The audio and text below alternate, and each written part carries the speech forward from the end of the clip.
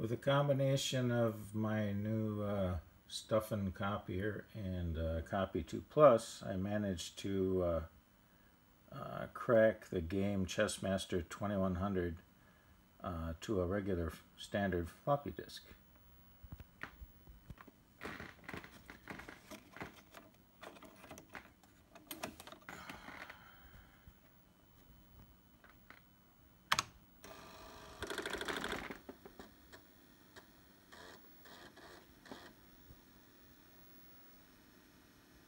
There's no splash screen.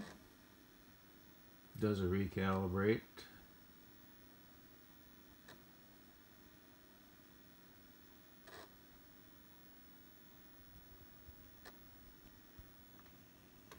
I have a joystick connected.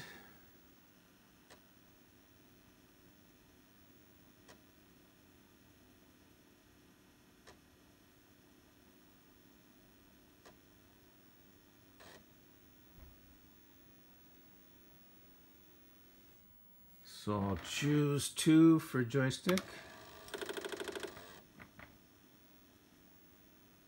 It recalibrates again.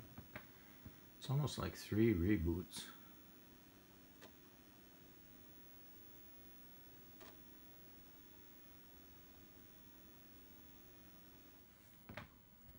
And uh, just press enter. Now here we are uh, in gameplay with my joystick. Fun stuff.